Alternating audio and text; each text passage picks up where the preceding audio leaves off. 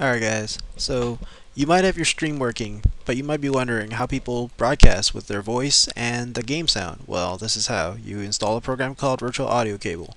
So it comes in a setup.exe and a setup64.exe. So if you have you're running 64-bit, make sure you install the correct one. So after you install it and you restart your computer, like I have already, um, you go to your control panel and you go to sound. Um, basically you'll notice that they installed uh, a thing called line 1 in your playback tab and also line 1 in your recording tab. Um, what these are I will explain in a moment. So go to start, go to programs, go to virtual audio cable, and run control panel in run as administrator. It is very important because otherwise when you press this restart button it will throw you an error. Anyways, um, the only thing of interest here is the NC, which is the number of channels. So if you're playing this game with your optical input and you're playing it in surround sound, you will actually want to change this up to 6. So once you have done that, um, hit the set button.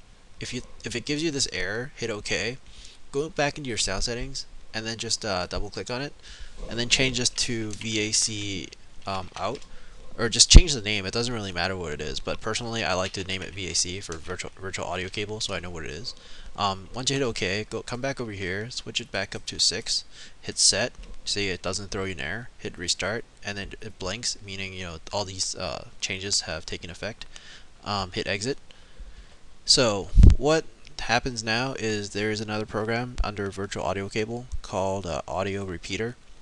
Um, and what you do is you for wave in for your input you want to select your microphone, um, whatever it's called. Uh, mine is called front mic. Um, so for wave out, you want to select VAC in.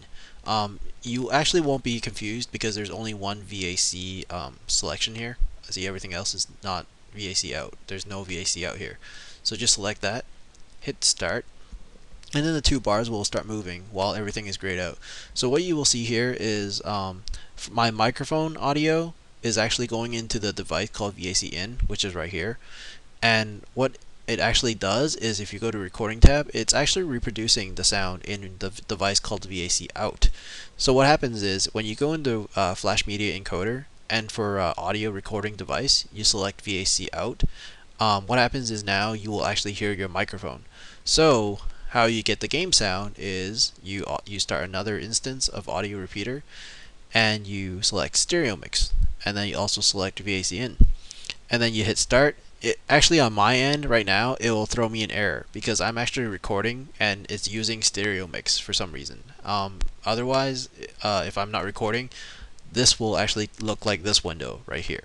So uh, once both are working just go into Flash Media Encoder. Um, just select uh, VAC in as your uh, actually you should, no select VAC out as your uh, capture device for audio and you should be able to hear your voice and your uh, game sound.